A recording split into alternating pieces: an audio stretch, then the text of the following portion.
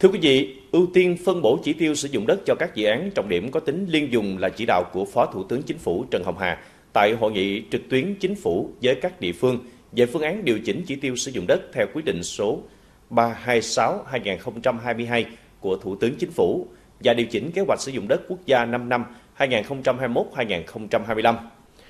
Ông Nguyễn Công Vinh, Phó Chủ tịch Ủy ban Nhân dân tỉnh tham dự hội nghị tại điểm cầu tỉnh Bà Rịa, Vũng Tàu.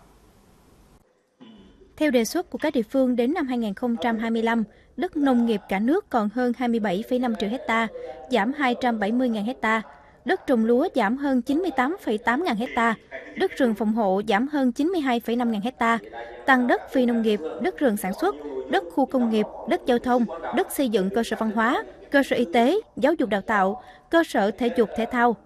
Phát biểu tại hội nghị trực tuyến với chính phủ, một số địa phương đề nghị chính phủ ưu tiên quỹ đất dành cho các dự án đường cao tốc, công trình năng lượng, xem xét không phân bổ chỉ tiêu sử dụng đất cho từng địa phương mà nên phân theo vùng, từ đó hội đồng vùng sẽ phân bổ trên cơ sở thực tiễn, nhu cầu ở mỗi tỉnh thành phố.